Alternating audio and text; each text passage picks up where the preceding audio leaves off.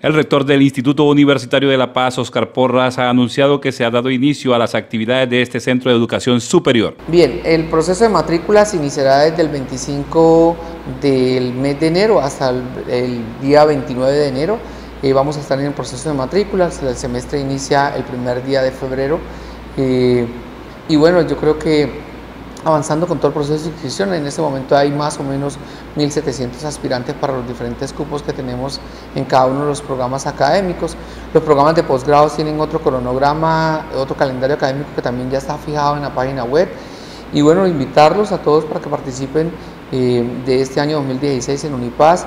Porras dijo que la universidad ha ampliado su oferta educativa. En este año 2016, hace apenas unas horas, nos fuimos notificados del nuevo registro calificado del primer programa a distancia que vamos a tener en Unipaz, que es el programa de tecnología en procesamiento de alimentos, un programa que tiene 95 créditos académicos, que va a ser de una manera, eh, digamos que diferente a los programas que tenemos, oficiamos, ofertamos normalmente, y que pues a partir del día de mañana saldrá publicado ya el cronograma de trabajo de ese nuevo programa académico que eh, va a ser parte de esa oferta académica que requiere el territorio la Universidad de La Paz busca consolidarse como la Universidad del Magdalena Medio.